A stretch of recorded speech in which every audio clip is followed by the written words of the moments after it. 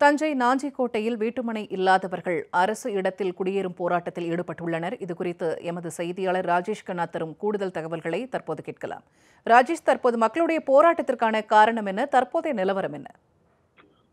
அதாவது பூர்ணிமா தஞ்சாவூர் மாநகராட்சி அருகே உள்ள நான் நாஞ்சிக்குட்டை ஊராட்சி பகுதியில் ஆவில் பால் பண்ணைக்கு அருகே வந்து பெரிய புதுப்பட்டினம் வாரி இருக்கு. இதன் பக் பக்கத்தில் பார்த்தீங்கன்னா அரசுக்கு சொந்தமான புறம்போக்கு இடம் வந்து நாற்பது ஏக்கர்ல இருக்கு. இந்த புறம்போக்கு இடத்த தரக்கோரி பொதுமக்கள் வந்து இப்போ குடியேறும் போராட்டத்தில் ஈ- ஈடுபட்டிருக்காங்க.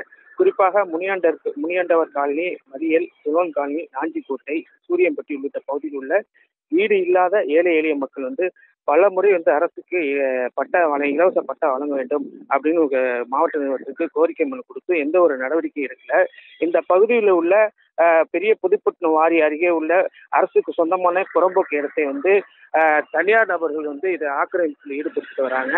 எங்களுக்கு வந்து இந்த இடத்துல எங்களுக்கு இடம் கொடுங்க அப்படின்னு சொல்லி இந்த போராட்டத்தில் ஈடுபட்டு இருக்காங்க. கிட்டத்தட்ட இந்த இந்த ப பட்டா வழங்க கோரி முன்னூறுக்கும் மேற்பட்ட குடும்பங்கள் வந்து இந்த போராட்டத்தில் ஈடுபட்டு இருக்காங்க அது மட்டும் இல்லாமல் இந்த இடத்துல வந்து இப்போ பார்த்தீங்கன்னா இந்த அரசு புறம்போக்கு இடத்துல வந்து கொட்டா போட்டு மக்கள் வந்து குடியேறி போராட்டத்தில் ஈடுபட்டு இருக்காங்க இதனால இந்த பகுதியில் வந்து பெரிய பெரிய பதட்டமான சூழ்நிலை என்பது ஏற்பட்டிருந்தது அஹ், போலீசார் ஒரு இரநூறுக்கும் முன்னூறுக்கும் மேற்பட்ட போலீசார் வந்து பாதுகாப்பு பணியில் ஈடுபட்டு இருக்காங்க தற்போது தாசில்தார் வந்து பேச்சுவார்த்தை என்பது ஈடுபட்டு இருக்காங்க இந்த ப- பகுதியில் உள்ள இடத்த வந்து சர்வே பண்ணி இவங்க இவங்களுக்கு கொடுக்க முடியுமாங்கிறது வாய்ப்பு இருக்காங்கிறது ஆலோசித்து ஆலோசிச்சு வராங்க. அது மட்டும் இல்லாமல் இந்த பகுதியில் அவங்களுக்கு கொடுக்க பட்டா கொடுக்க வேண்டிய இடத்த வந்து அவங்களுக்கு கொடுக்க வேண்டிய இடத்த வந்து கொடுத்துருவோம். ஆனால் இந்த இடத்துல உள்ள சர்வே பண்ணி தான் நாங்கள் இந்த இடத்த கொடுக்க முடியும்.